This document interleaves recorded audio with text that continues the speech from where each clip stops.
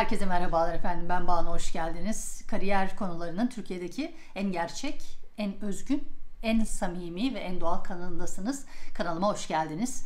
E, ilk defa denk geliyorsak e, tekrardan hoş geldiniz. Ben Banu. Bu kanalda kariyer yönetimine dair ki ben buna akıllı kariyer yönetimi diyorum. E, kariyerde markalaşmaya dair, iş bulmaya dair, LinkedIn kullanımına dair, e, kariyerinizde işinize yarayabilecek pek çok bilgiyi burada sizinle paylaşıyorum ve bunu düzenli olarak yapıyorum.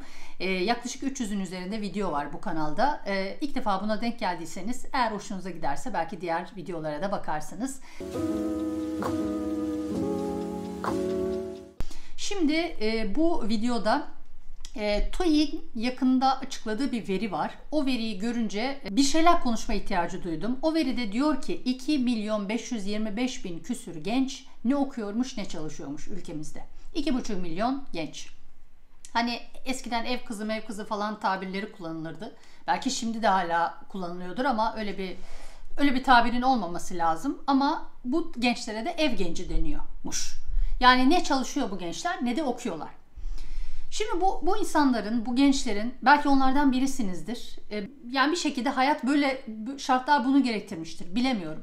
Fakat e, hiçbir şeyi böyle uzaktan bilmeden atıp tutmaktan hiç hoşlanmayan bir insan olduğum için artı böyle okuduğumuz işte sosyal medyada, LinkedIn'de böyle önümüze denk gelen sanki e, böyle uzaydan konuşuyormuş gibi e, Türkiye coğrafyasının dinamiklerini, e, yapısını, tarzını, zorluklarını bile ve kolaylıklarını yani hiç tanımıyormuş gibi paylaşımlar yapanlara da ne diyeyim ufaktan uyuz oluyorum yani yalan yok. E, işte önümüzdeki 5 yılın yetkinlikleri, önümüzdeki 10 yılın yetkinlikleri bilmem ne hepsinde de aynı lakırdı. İnovatif düşünme, işte kompleks düşünme, problem çözme bilmem ne o bu şu yahu kim o yetkinliklere bakarak aksiyon alıyor ki? Yani kim umursuyor demek istiyorum. Hele şu anda 2,5 milyon genç ya da o gençlerden bazıları bilmiyorum bazısının belki bilgisayarı yok belki imkanı yok belki o su busu yok. Yani bakıp da hani böyle e, uzaktan böyle sırça köşklerden e, böyle janjanlı yerlerden e, paylaşılan şeyler onlara çok da dokunmuyor diye düşünüyorum. Yani yanlışım varsa lütfen yorumlarda buluşalım. Bu gençlerin tabii ki dediğim gibi okumasının, okumamasının ve çalışmamasının bir takım nedenleri olmalı. Fakat işin sizin kontrolünüzün dışında olan kısımlarını e, gündeme almak istemiyorum. Yani zorluklar olabilir, e, çeşitli ailesel, e, ekonomik vesaire, sosyolojik her şeyin insanın kendisinden başlayıp kendisinde bittiği gerçeğini de şu anda size hatırlatmak istiyorum. Elbette zorluklar olabilir. Eğer bu videoyu izleyen öyle bir insansanız ya da e, benimle aynı derdi paylaşıyorsanız ben çalışan bir insanım 20 küsür yıldır uzmanlıklarımı hem profesyonel hizmetlerimle hem burada bilgimin zekatını vermek suretiyle yıllardır paylaşıyorum. E, neden daha iyi olmasın gençlerimiz? Bunu da kendime bazen dert edinebiliyorum açıkçası. Çünkü insan kendine dert edindikleri kadar var bu hayatta. E, ve bunlar aslında güzel şeyler.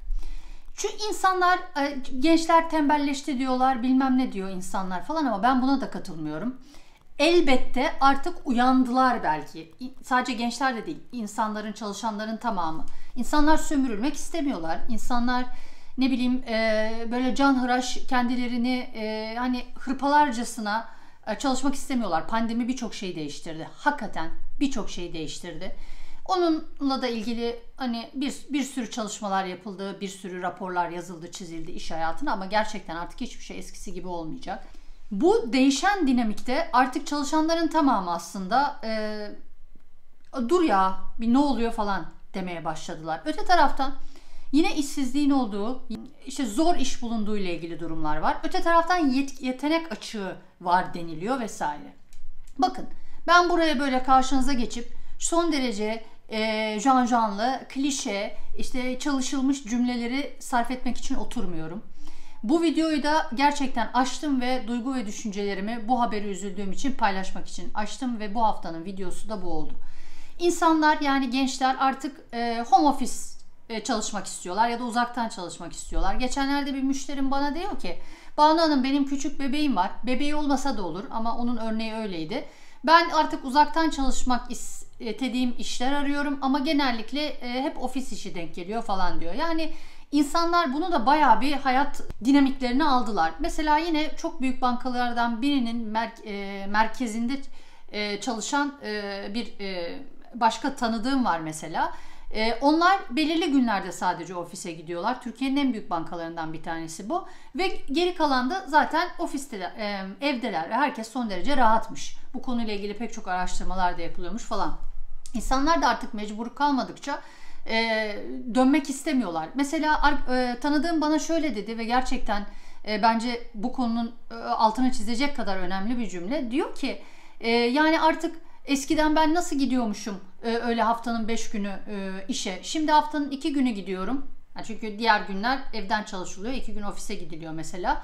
Yani iki günün sonunda bile sıkılıyorum dedi bana mesela. Yani gerçekten bu çok önemli bir noktaydı. Ee, şimdi bu deniliyor ya iki buçuk milyon genç ne okuyor ne çalışıyor. Dijital dünya bize çok büyük bir fırsat eşitliği sunuyor. Değerli arkadaşlar, sevgili gençler, bu videoyu izleyen e, herkes. Bunun için artık eskiden hani gazetelere bağlıydı insanlar ya da işte ne bileyim TV kanallarına bağlıydı. Ya da onların ağızlarının dudaklarının ucuna bakıyorlardı. Ama dijital artık her şeyi süpürdü. Daha da fazla süpürmeye devam edecek. İyi ki de süpürüyor. Ben şu anda bu videolarla sizlere ulaşmak için kimseye ihtiyaç duymuyorum. İşte yazılarımla ulaşmak için bir gazeteci gibi adeta e, içerik ürettiğim sosyal medya mecrasında özellikle LinkedIn'de ve Instagram'da hiç kimseye ihtiyaç duymuyorum. Yani bakıldığı zaman siz de e, dijital fırsatları kullanmak suretiyle hangisi sizin için daha uygunsa o konuyla da, o konulardan da para kazanabilirsiniz, iş yapabilirsiniz. Diplomalarında artık belirli işlerin dışında bir doktorluk yapacaksanız, avukatlık yapacaksanız, işte e, eczacılık yapacaksanız elbette ki şart olduğu ama bunun dışında en free format e, yerlerden mezun olduktan sonra hani illa oralara bağlı kalmak zorunda da değilsiniz. Onun için artık istediğiniz işlerde çalışmak için diploma şartları bile kalktı kalkıyor. E, yine geçenlerde bir paylaşım yapmıştım. Amerika'da artık ilanların %70'inde diploma, üniversite mezunu diploma şartı falan aranmıyor. Çünkü şirketler bilgiye önem veriyorlar, yetkinliğe önem veriyorlar. Burada kavramlar ikiye ayrılıyor değerli arkadaşlar. Yeteneğinizin olması başka bir şeydir. Yeteneğinizin olduğu alanda daha güçlü büyürsünüz, daha kolay büyürsünüz, daha kolay yetkinlik kazanırsınız. O ayrı bir şeydir.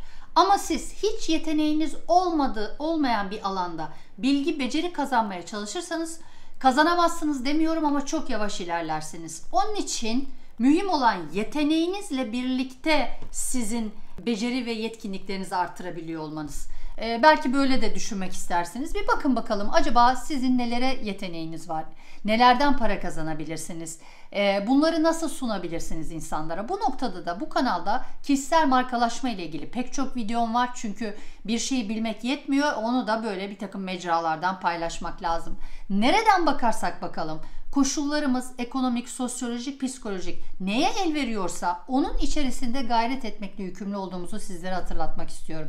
Değerli gençler, sevgili arkadaşlarım, değerli takipçilerim. Yani bize düşen, insana düşen Elbette zorluklar olabilir. Tekrar altını çiziyorum çünkü ben uzaydan konuşmuyorum. Bu zorlukları da bizzat yakinen gerek müşterilerimden gerek dostlarımdan gerek arkadaşlarımdan gözlemlediğim çevreden gayet iyi biliyorum. Ama insana düşen gayret etmek.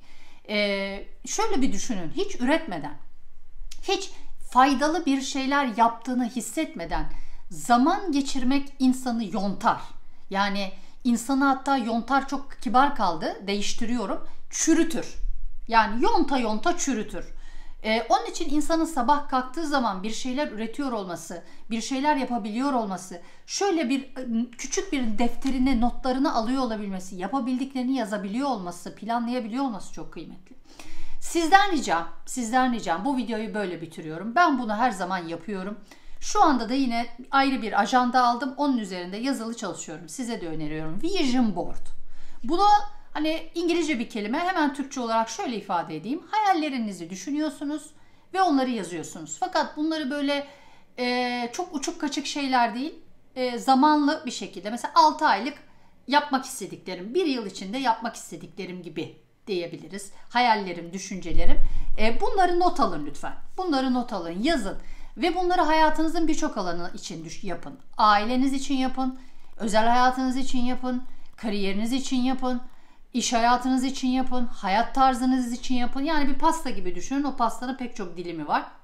Hayat sadece iş demek değil. Bu vision board'unuzu yani e, hayal ve istek e, çalışmanızı öyle diyeyim ben Türkçe olarak. E, o not defterine yazın. Düşünerek yazın. Yani bir yıl içinde ben ne yapmak istiyorum? Ben bunu şu anda arkadaşlar yıllardan beri çalışıyorum ve yıllardan beri bunu yapıyorum. Kimseyle de paylaşmayın. Yazın.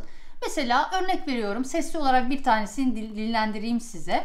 E, ben mesela e, bu kanalımın 50 bin aboneyi geçmesini hayal ediyorum. Çok istiyorum mesela. 100 bin aboneyi geçmesini çok istiyorum mesela.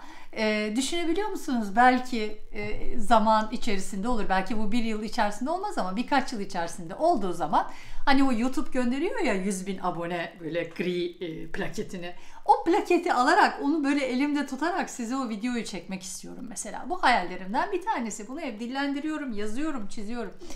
E, tıpkı böyle düşünün. Yani Böyle yüzünüzde de güzel bir tebessüm oluşturacak hayalleriniz vardır elbet. Olmaz olur mu? Vardır elbet. Ama e, ne okuyor ne çalışıyor e, sanız yani hiçbir şey yapmıyorsanız şu anda neler yapabileceğinizi düşünün. Onu hatırlayın. Neler yapabilirsiniz?